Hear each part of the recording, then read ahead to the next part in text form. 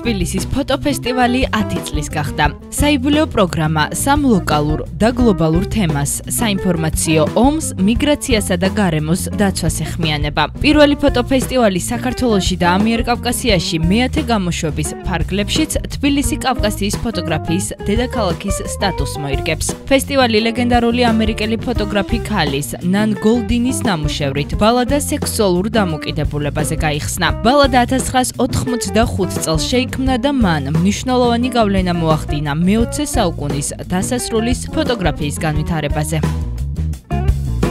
როგორც ყოველთვის ძალიან მაღალი ხარისხია და მე ძალიან მაყაფილი ვარ ხოლმე როგორც ფოტოფესტივალი კოლგით ასევე თბილისი ფოტოფესტივალით და რა ვიცი მე ძალიან მაყაფილი ვარ და არ მგონია რომ განებირებულები არ ვიყოთ იმიტომ რომ პატარა ქვეყანაა და ორი ძალიან გრანდიოზული ფესტივალი გვაქვს ფოტოგრაფიის განხრით ყოველ წელიწადს და რა ვიცი მე მგონია რომ შვენივრად მიდის საქმე. ფესტივალი ყოველთვის იწვევს ხოლმე იმ თემის განვითარებას, რომელსაც ეძღვნება და თბილისი მე მგონია რომ თბილისის ფოტოფესტივალმაც მოახერხა მათ წლის განმავლობაში და რაღაცნაირად ფოტოგრაფია საქართველოში კიდევ უფრო წინ წასწია ასე ვთქვათ.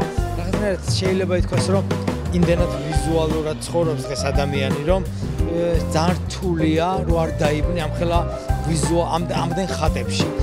ბოლოს კი გეტყვით, რომ ფესტივალის ფარგლებში ფოტოგრაფიისა და მულტიმედიის მუზეუმი გაიხსნება, რის შექმნასაც საფუძვლად თბილისის ფოტოფესტივალის აქტივებში არსებული დიდარი კოლექციები დაიდო.